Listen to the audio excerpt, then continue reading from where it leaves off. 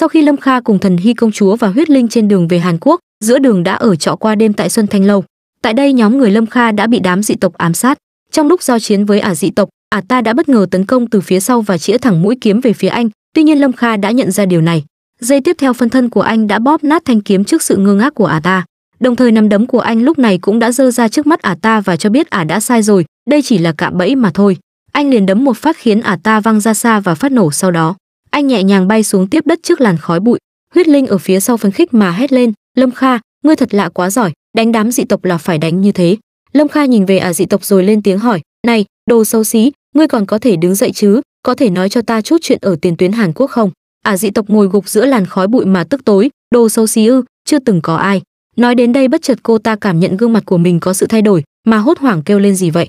Không, mặt của ta, cô ta không thể chấp nhận được gương mặt bị hủy hoại như ác quỷ này lâm kha cầm chặt thanh kiếm đầy linh lực trong tay, dị tộc thì làm gì có mặt? Khuôn mặt này của ngươi là lấy ra từ của người khác đúng chứ? Nếu ngươi không muốn nói thì đi chết đi. Nói rồi anh chém thẳng một đường kiếm khí vào giữa chán ả ta. Đường kiếm khí cường đại rất nhanh đã chẻ đôi phần cơ thể ả ta. Sau khi quan sát cẩn thận, lâm kha bỗng ngạc nhiên khi cái gì cũng không có. Anh liền dậm mạnh chân thi pháp, sau đó từng vòng tròn linh lực không ngừng xuất hiện và vang xa. Lúc này anh kinh ngạc khi thấy một ả dị tộc đang gầm gú bên những chiếc hộp gỗ.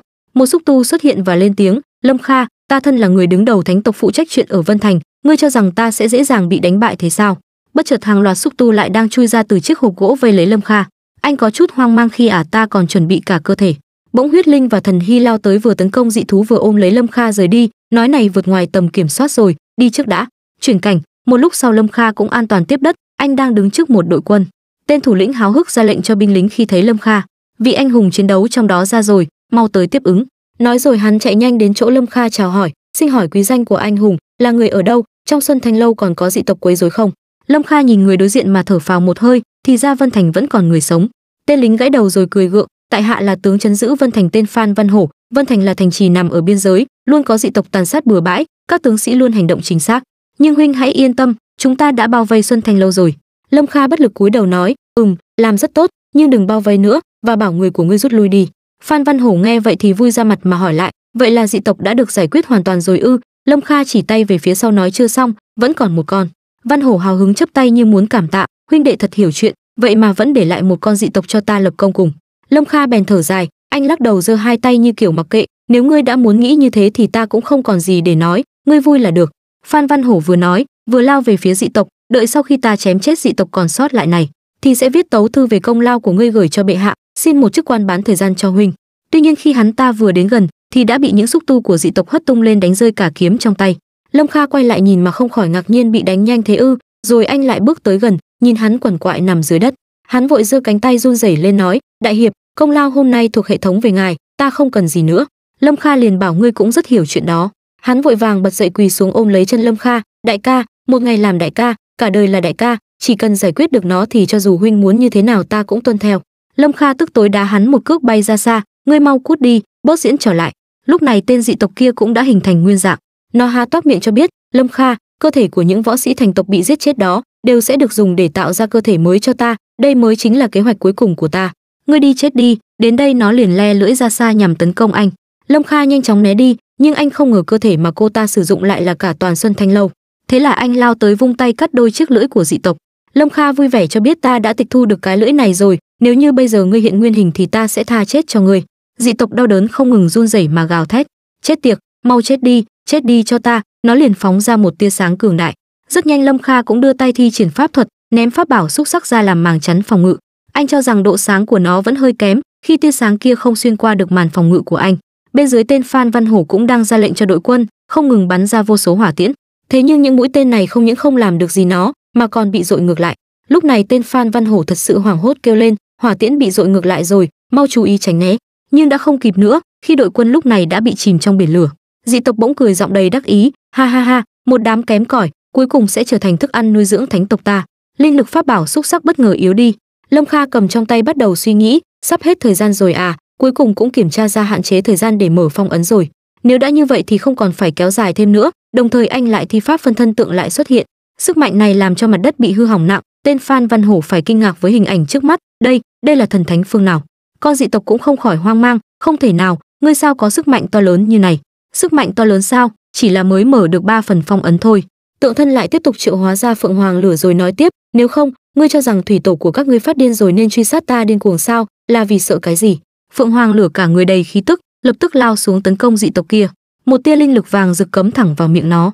Trong thoáng chốc một vụ nổ đã xảy ra, khói lửa một vùng lâm kha cũng thoát khỏi phân thân. Anh nhìn tên dị tộc còn lại một phần đang nằm run rẩy. Hay, ngươi vẫn sống dài quá vậy? Nhưng điều là sự dãy dụa cuối cùng mà thôi. Dị tộc nằm thở thoi thóp mà vẫn cố gượng. Lâm kha, ngươi thắng rồi, nhưng phía trước vẫn còn rất nhiều thánh tộc hơn ta. Thả ta đi, nếu không. Nghe chói tai lâm kha vội chen vào cắt ngang lời dị tộc, bảo nó ăn nói với vẩn, nên vội búng tay một cái.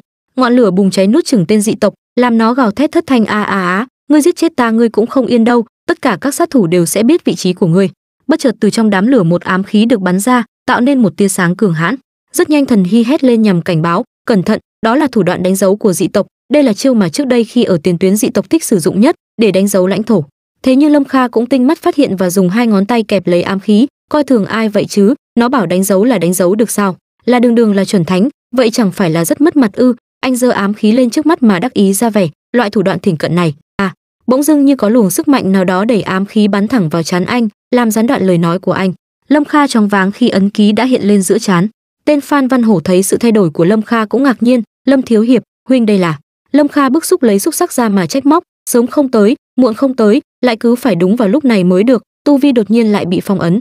Nghe đến đây tên phan văn hổ vội vàng bỏ chạy, đồng thời ra lệnh các huynh đệ, tối nay bình an rồi, không có chuyện gì thì về nhà nghỉ ngơi, ngày mai còn phải làm nhiệm vụ. Lâm kha cũng không khách khí nữa, anh liền lấy lệnh bài dơ ra và nói, pháp chỉ của thánh thượng thấy ấn tín như thấy người. Ngay lập tức phan văn hồ chạy tới quỳ trước mặt lâm kha, cảm ơn thánh thượng, cảm ơn thượng sứ.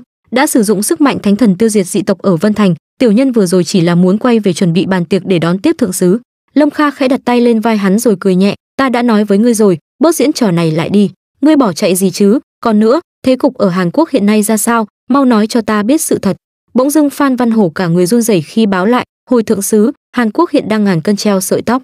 Đại quân dị tộc đã bao vây nước họ toàn bộ đều dựa vào sự phản kháng của các du hiệp nên mới duy trì được đến thời điểm này.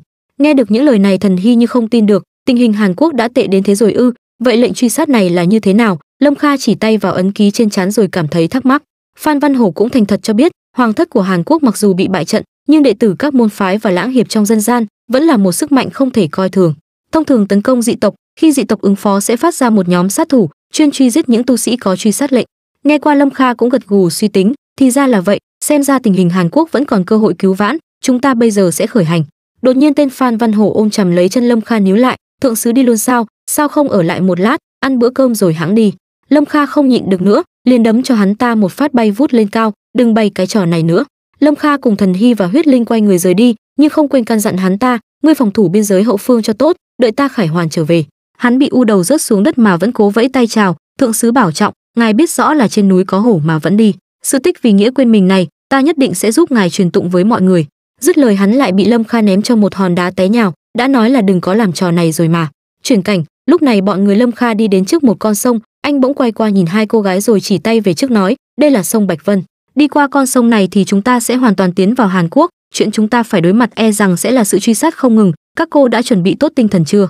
Gương mặt thần hy thể hiện sự quyết tâm, cô quay lại nhìn chằm chằm phía trước cho rằng hàn quốc là quê hương của ta, dù có phải chết ở đây thì ta cũng không sợ. Huyết linh cũng vui vẻ thể hiện sự háo hức khi được đi cùng lâm kha. Lâm kha bất giác bước tới ôm vai hai cô gái từ phía sau, tốt lắm, vậy chúng ta bắt đầu đi thôi. Bất chợt thần hy cáu gắt đẩy tay lâm kha mà lùi ra xa, nói chuyện đàng hoàng đi, đang yên đang lành ngươi làm gì thế? Lâm kha ngơ ngác lấy xúc sắc ra mà nhìn thần hy nói, thì đây là chuyện đúng đắn mà. Lục nhâm thần đầu đã dùng hết dương khí rồi, không tranh thủ bây giờ thì lát nữa gặp nguy hiểm sao có thể giải trừ phong ấn. Thần hy cũng thầm nghĩ lại, hắn nói có lý quá mình không thể nào phản bác được. Còn huyết linh lại vô cùng phấn khích, tốt quá, lại có thể giúp lâm kha tu hành rồi. Tới đây lâm kha vui vẻ thi pháp khởi động lĩnh vực, hồ rượu rừng thịt. Một vòng tròn linh khí xuất hiện, từ dưới con sông những làn xương cũng hiện lên vây quanh tạo thành một không gian cấm chế. Lâm kha cởi bỏ áo choàng, anh vội lao tới thần hy, bỗng thần hy bỏ chạy mà cao có, không biết xấu hổ, ai muốn xa đọa với ngươi chứ, ta chỉ muốn sớm giải cứu được hàn quốc thôi. Huyết linh bước tới nắm lấy tay anh rồi cười, he he rượu, ở đâu có rượu? Lâm kha, ta muốn uống rượu tuy nhiên lâm kha lại cáu gắt rượt tay lại mà bảo, trẻ con không thể uống rượu. Rồi anh ta lại nở nụ cười đầy quỷ quái, lấy tay ấn đầu huyết linh ngồi xuống, ngươi có muốn uống chút gì có lợi cho sức khỏe có chứa protein không? Huyết linh ngồi quỵ xuống mà có vẻ không vui, vậy tại sao ngươi cho thần hy tỷ đứng mà lại muốn ta ngồi? Là bởi vì xem xét ta là trẻ con sao? Bỗng nhiên lâm kha tối sầm mặt lại bức xúc quát, im miệng, cô rõ ràng là một bà già đã sống hơn mấy trăm nghìn năm, cô không phải có thể biến thành người lớn sao? Mau biến thành người lớn đi. Ngay lập tức huyết linh biến hóa lớn lên, nhân là vòng ba cô liền hỏi lại như này đủ lớn chưa? Lâm kha nhìn chằm chằm vào cô mà cả người khẽ run lên. Đủ rồi đủ rồi, có thể mở mồm rồi. Và thế là cả ba cùng nhau tu hành. Trên con sông chỉ còn thấy những khí tức màu hồng ẩn hiện. Đồng thời lúc này cũng ở gần đó có một đám dị tộc đang đi. Một tên trong đó bỗng lên tiếng. Ta cảm thấy ở đây có mùi của truy sát lệnh. Một tên cầm kiếm thủ thế cũng lên tiếng. Phòng quỷ ẩn nấp ở trong vân thành chết rồi. Ký hiệu truy sát lệnh của phòng quỷ chỉ về hướng đó. Xem ra chính là người ở trong màn xương kia đã giết chết phòng quỷ bọn chúng đi đến đứng trước chỗ có màn xương bao phủ, thấp thoáng bóng người ẩn hiện trong đó. Lại một tên tức tối rút kiếm thủ thế. Ha ha, không biết trời cao đất dày dám ở đây sung sướng, cho rằng giết được phòng quỷ rồi là có thể gối cao đầu sao. Vậy thì là do ngươi không biết ở đây người nào cũng có thể giết phòng quỷ rồi. Mau xông lên, giết, cả ba tên dị tộc lập tức xông vào màn xương nhằm tấn công lâm kha. Nhưng khi bọn chúng vừa lao vào thì một vụ nổ lại xảy ra. Khi còn lại chút khói bụi vương vãi thì bọn chúng cũng phát giác ra là không có ai ở đây. Chợt một tên phát hiện ra thứ gì từ đóng sàn gỗ phía trước hắn bước tới gần thì lại thấy một con chó đang bị trói vào cây cột. Tên có hai sừng ngang cổ bỗng ngồi xuống nhặt được ám khí ký hiệu mà có vẻ lo lắng. Nguy rồi, ký hiệu của phòng quỷ đã bị gỡ bỏ, mất manh mối rồi. Nhưng tên có ba sừng trước thì lại đang nhìn về phía trước nói, gỡ bỏ được ký hiệu thì đã sao? Đối phương nếu xa dám giết thánh tộc của chúng ta ở biên giới hàn quốc, thì rõ ràng là muốn đối đầu với tộc ta. Tên hai sừng không hiểu bất giác quay lại hỏi hắn là có ý gì. Hắn đoán mục tiêu đã băng qua sông đi đến hàn quốc rồi. Tên còn lại có hai lỗ tai dài tỏ vẻ đắc ý, hắn tự chui đầu vào chỗ chết thông báo cho huynh đệ ở bờ bên kia bắt sống. Chuyển cảnh, lúc này trên sông có một chiếc thuyền đang đi. Bọn người lâm kha cũng có mặt trên thuyền. Thần hy lo lắng hỏi lâm kha, chúng ta thoát rồi đúng không? Lâm kha quay lại nhằm chấn an cô, yên tâm đi, nhờ có sức mạnh của lục nhâm thần đầu nên đã gỡ bỏ phần lớn ký hiệu rồi. Trong thời gian ngắn bọn chúng sẽ không đuổi theo kịp. Lâm kha lấy pháp bảo xúc sắc ra quan sát, anh cho biết vừa rồi để gỡ bỏ ký hiệu nên đã tiêu hao một phần sức mạnh cực âm, khiến cho lục nhâm thần đầu chưa được kích hoạt hoàn toàn, tạm thời sẽ không thể ra tay đột nhiên từ phía sau xuất hiện một nam nhân bước tới lên tiếng, vị nữ hiệp này, cô nương là nữ nhân đẹp nhất ta từng gặp, ta muốn tặng mình cho cô nương. Điều này làm cho lâm kha và thần hy kinh ngạc quay lại. Trên tay hắn cầm một bông hoa rồi nói tiếp, nhưng ta còn cần giữ lại cơ thể của mình để đi cứu tiêu tướng quân. Xin hãy cho phép ta tạm thời tặng cô nương một đóa hoa xinh đẹp. Nó rồi hắn liền nhắm chu mỏ hướng về thần hy. Một cái tát như trời giáng lập tức tát thẳng vào mặt hắn, khiến hắn trợn tròn hai mắt phun cả nước dãi. Hắn nổi cơn thịnh nộ, hai mắt đỏ rực mà hét vào mặt lâm kha ta là ông chủ nhỏ của chiếc thuyền này, ngươi dám đánh ta ư? Lâm kha ra vẻ ngơ ngác khó hiểu nói ta đâu có. Hắn điên tiết túm lấy áo lâm kha nhằm đe dọa. Ngươi cho rằng ta là tên ngốc sao? Ở đây còn có người khác ư? Ta nói cho ngươi biết, trừ khi ngươi để hai cô nương này lại bồi ta, nếu không không để hắn ta nói hết câu. Ngay lập tức một cú đấm lao thẳng vào mặt hắn hắn đau đớn quát mắng, ui ra đờ mờ nó! Đồng thời cũng từ cú đấm này đã đấm bay hắn rớt xuống sông. Bỗng có hai tên cao to hốt hoảng khi tên kia bị rớt sông, tên đầu chọc liền quát lên, lá gan lớn quá nhỉ chúng ta có lòng tốt cho ngươi đi nhờ, ngươi lại dám tấn công thiếu chủ của chúng ta. Lâm kha cũng lên tiếng đáp lời, ngươi nói như kiểu chúng ta không trả tiền đi thuyền vậy. Tên đầu chọc bức xúc cho biết, phí đi thuyền này đều sẽ quyên góp cho tiêu tướng quân, đây là tiền chính nghĩa, nếu như hôm nay ngươi không góp đủ 1.800 lượng bạc, thì đừng hỏng xong chuyện. Tên thiếu chủ đang chui với giữa dòng sông mà bức xúc lên tiếng, dừng tay lại hết đi, đám người ngu xuẩn các ngươi, có thời gian tính nợ thì chi bằng mau kéo ta lên đi. Tên búi tóc lập tức bước tới kéo hắn lên vâng thiếu gia, ngài gắng sức nhưng ngài định bỏ qua cho chúng dễ dàng thế sao? Tên thiếu gia liền bảo ngươi nói thừa, vừa rồi không phải là hắn đánh, là. Cũng trong lúc này từ xa một viên đá to đang lao với tốc độ chóng mặt, bất ngờ đập thẳng vào người tên búi tóc khiến hắn ta thổ huyết. Sau đó thì loạn trọng ngã nhào xuống sông, đồng thời tên thiếu chủ lại phát giác ra hàng loạt viên đá khác đang lao tới, hắn vội hét lên nhằm cảnh báo, cẩn thận, dị tộc đang bao vây. Trên thuyền lúc này mọi người cũng bị những viên đá tấn công làm bị thương. Thấy tình hình bất ổn, lâm kha đang ở cuối thuyền liền dậm mạnh chân xuống, với giọng bực tức, đúng là âm hồn bất tán chiếc thuyền ngay sau đó bị chỏng ngược về sau, nhằm che chắn những viên đá đang lao tới. Thần hy qua quan sát rồi lại nói, bọn chúng chưa hẳn là đuổi theo chúng ta, nếu đúng là thế thì sẽ không dở thủ đoạn vật vãn hồi này. Lâm kha cũng dứt khoát đưa ra gợi ý, vậy thì bỏ thuyền đi thôi, hiện giờ không thích hợp đối đầu chính diện với chúng. Bỗng tên thiếu chủ nghe vậy vội hét lên, không được bỏ thuyền, tiêu tướng quân bị dị tộc bao vây ở vi đà cốc, đã hết sạch lương thực và nước uống rồi, đồ ở trên thuyền nhất định phải đưa đến nó. Nghe qua lâm kha cũng quay lại liếc nhìn hắn, ta nói, thì ra cũng là những tên hảo hán nhiệt huyết ngay lập tức lâm kha thi triển pháp thuật nâng những thùng lương thực lên không trung, chuyện vật tư cứ giao cho ta, mau bỏ thuyền. Trong phút chốc chiếc thuyền đã vỡ vụn và chìm xuống lòng sông. Ở một bên khác đám dị tộc đang theo dõi bọn họ, rồi tỏ ra khinh thường, đã bỏ thuyền chạy rồi, đám chuột này đúng là khó bắt. Tên khác lại cho rằng không sao cả, vật tư chìm rồi là được, còn đám du hiệp kia số lượng có nhiều hơn nữa, thì cũng chẳng gây nổi một gợn sóng. Chuyển cảnh, lâm kha lúc này đã đi vào trong rừng rậm, anh thi triển lấy những thùng vật tư đặt xuống đất. Tên thiếu chủ mặt mày lắm lem tay cầm túi đồ tỏ vẻ hối hận nhìn lâm kha, là ta có mắt không nhìn thấy núi thái sơn, cảm tạ đại hiệp ra tay cứu giúp. Lâm kha bảo rằng người trên giang hồ không câu nệ tiểu tiết, nếu ngươi vẫn muốn gửi quân nhu cho tiêu tướng quân, thì giữ lại túi đựng đồ này đi, nhưng ngươi có thể kể lại tường tận chuyện của tiêu tướng quân cho ta không? Tên thiếu chủ tỏ ra phấn khởi khi nhắc đến tiêu tướng quân, cái đó có gì mà không được, tiêu tướng quân là anh hùng đối kháng dị tộc, bội ngôi quân của ngài ấy đánh đâu thắng đó không gì cả nổi. Bỗng hắn trầm mặt lại rồi hạ giọng, nhưng không biết vì sao đám dị tộc vây ngài ấy ở vi đà cốc chỉ vây không đánh, có lẽ bọn chúng muốn bội ngôi quân chết dần chết mòn.